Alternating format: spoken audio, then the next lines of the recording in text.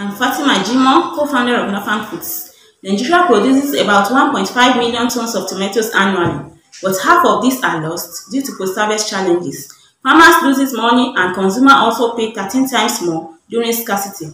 Nigeria is the second largest producer of tomatoes in Africa, 14th largest in the world, but we are the largest importer of tomato paste because we don't have any functional processing facility to help reduce wastage. We created Nafarm Foods in 2015 to solve these problems. We started with two workers processing 100 kilograms of tomatoes per day, but have grown to processing up to 6,000 kilograms of tomatoes per day with 16 full-time workers. Federal government banned tomato paste importation and we increased capacities and so far remain the only local processor in Nigeria.